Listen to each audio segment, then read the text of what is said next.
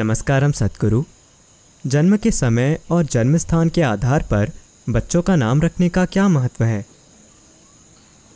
संस्कृत वर्णमाला। सृष्टि की गहरी समझ से आती है। क्योंकि ये भाषा बोलचाल के लिए नहीं बनी थी। ये केवल बोलचाल के लिए हमारे द्वारा बनाई गई भाषा नहीं है। इस भाषा को लोगों ने अस्तित्व से ही निकाला है।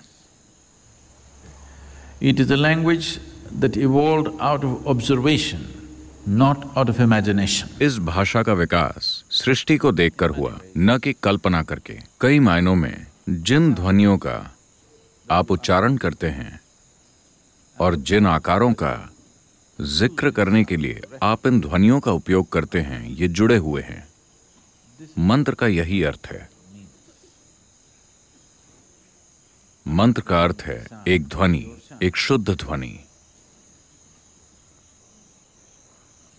यंत्र यानी उससे जुड़ा हुआ आकार। इसे समझने के लिए अगर आप फिजिक्स के बारे में कुछ जानते हैं, कम से कम अगर आपने हाई स्कूल में फिजिक्स पढ़ी है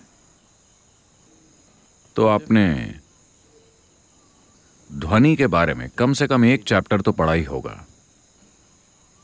अगर आप किसी ऑसिलोस्कोप में ध्वनि डालते हैं, जो ध्वनि को मापने का यंत्र है तो उस आवाज़ की फ्रीक्वेंसी, उसके एम्पलीट्यूड और बाकी पैमानों के हिसाब से यह हर बार आपको एक खास आकार दिखाएगा। तो एक ध्वनि के साथ एक रूप जुड़ा होता है। इसी तरह से एक रूप के साथ एक ध्वनि जुड़ी होती है। जब एक बच्चा जन्म लेता है, तब सौर मंडल की जामती स्थिति के आधार पर। ब्रह्मांड पर गौर करने का भी एक तरीका है, पर वो काफ़ी जटिल है। कम से कम सौर मंडल की ज्यामिति स्थिति पर गौर करके लोग ये तय करते हैं कि ये ध्वनि सबसे अच्छी होगी उस बच्चे के लिए जिसने इस दिन इस समय पर जन्म लिया है। इसका एक वैज्ञानिक आधार है। लेकिन इसमें कुछ गुंजाइश भी है, क्योंकि संस्कृत वर्णमाला में चौवन अक्षर हैं। इन अक्षरों को सैकड़ों छोटी ध्वनियों में तोड़ा जा सकता है। उन छोटी ध्वनियों के आधार पर लोगों का नाम रखना बहुत जटिल है। जब उनको नया नाम देने की बात आती है। अगर वो ब्रह्मचर्य या सन्यास लेते हैं, उन्हें नया नाम देते समय हम थोड़ा ज़्यादा ध्यान देते हैं। जन्म के आधार पर नहीं, बल्कि उनके कुछ पहलुओं को देखते हुए और वो दीक्षा को कैसे ग्रहण करते हैं। इसके आधार पर हम नाम को व्यवस्थित करेंगे, ताकि उस नाम या ध्वनि का उससे मेल हो। अर्थ नहीं, अर्थ कोई मायने नहीं रखता। क्योंकि आप जो चाहें, वो अर्थ बना सकते हैं। अब, हमें आपके बच्चे को इस तरह का नाम देना होगा कि जब भी आप उस नाम को पुकारते हैं, उसके अंदर कुछ ना कुछ ढीला हो जाए।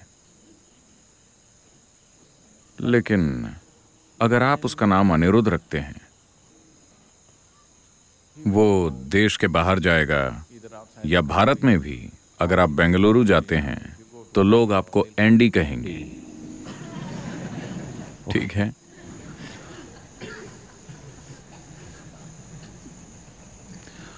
अगर आप उसका नाम जनक रखेंगे तो वो उसे जैक कहेंगे।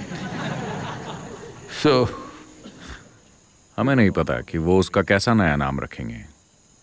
ऐसा होगा। कुछ हद तक ये महत्वपूर्ण है। अगर आप मोक्ष की खोज में हैं तो जो नाम आप बोलते हैं, जिस ध्वनि का आप उच्चारण करते हैं, वो महत्वपूर्ण हो जाती है। भारतीय समाज में लड़कों के नाम रखने पर ज़्यादा ध्यान दिया जाता है, बजाय लड़कियों के, क्योंकि किसी लिंग भेद की वजह से नहीं। क्योंकि आपको उसी पट्टे के साथ रहना है। लड़की तो किसी और की परेशानी।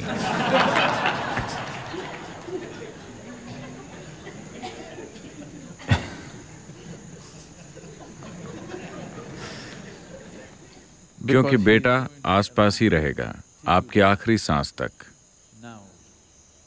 जब आप मर रहे हैं अगर आप अपने बेटे को बुलाना चाहें तो आप कहेंगे शिवा वाह।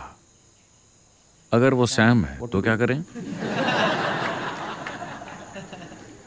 इसलिए माता पिता भी ध्यान देते हैं कि हम तो लगातार, क्योंकि हो सकता है कि वो खुद अपने नाम का अक्सर इस्तेमाल न करें, लेकिन हमें यह नाम बार बार पुकारना पड़ेगा। इसलिए ये परिवार की जामिति के अनुसार होना चाहिए।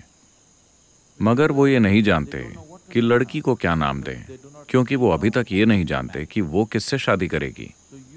तो आमतौर पर शादी के समय लड़की का नाम बदल दिया जाता था। आप जानते हैं? करीब 25 साल पहले तक अधिकतर महिलाओं का शादी के समय नाम बदल दिया जाता था। पति का नाम देखकर उसके गुणों के आधार पर या ग्रहों की जामिति के आधार पर नाम बदला जाता था, ताकि वो मेल खाए। आजकल ये अपमानजनक माना जाता है। मैं अपना नाम क्यों बदलूं? ये ज़रूरी नहीं है क्योंकि ये चूँकि हर चीज़ का शोषण करने के लिए प्रयोग किया जाने लगा है उसकी वजह से हर चीज़ के लिए प्रतिरोध आ जाता है। अगर इसे सही तरीके से किया जाता तो सभी इसे स्वीकार करते। जब इसे सही और उचित तरीके से नहीं किया जाता तो ये परेशानी बन जाता है। तो हमेशा से बेटे का नामकरण एक महत्वपूर्ण प्रक्रिया रही है क्योंकि आपको उसी के साथ रहना है। आजकल वो दूर चले जाते हैं तो चलेगा। लेकिन उन दिनों वो मरते दम तक आपके साथ रहते थे। इसीलिए ये ज़रूरी था कि जो नाम आप पुकारें वो परिवार के ज्योमेट्रिक इक्वेशन में फिट हो।